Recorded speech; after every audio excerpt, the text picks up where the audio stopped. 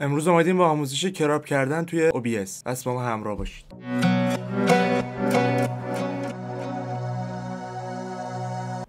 سلام بچه‌ها چطورید امروز آمدیم با آموزش crop کردن توی OBS شاید واسه خیلیتون سوال شده باشه که چجوری می‌تونید داخل OBS تصویری crop کنید. که همجوری کلیک می‌کنید تصویر خب چند تا گزینه میاره که می‌تونید اینجوری بکشید. خب فقط اندازش کوچیک میشه و هیچ تأثیری نداره. حالا مثلا بگیم crop کردن چه درد می‌خوره؟ مثلا شما یه تصویر green screen دارید مثل همین که اینجا FaceRig گذاشتم.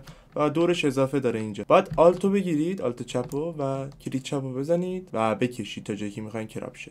این آسون ترین روشیه که می‌تونید انجام بدید. واسه هر طرف باید همین کارو کنید. اگه دلتون خواست می‌تونید انجام بدید حتی گوشه ها هم میشه.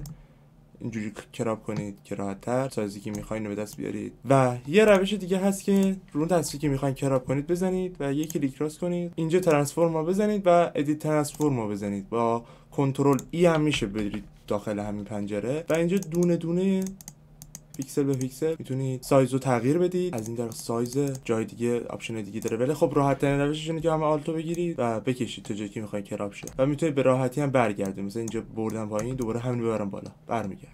مرسی که این ویدیو رو نگاه کردید تا ویدیو دیگه خدا نگهدارتون.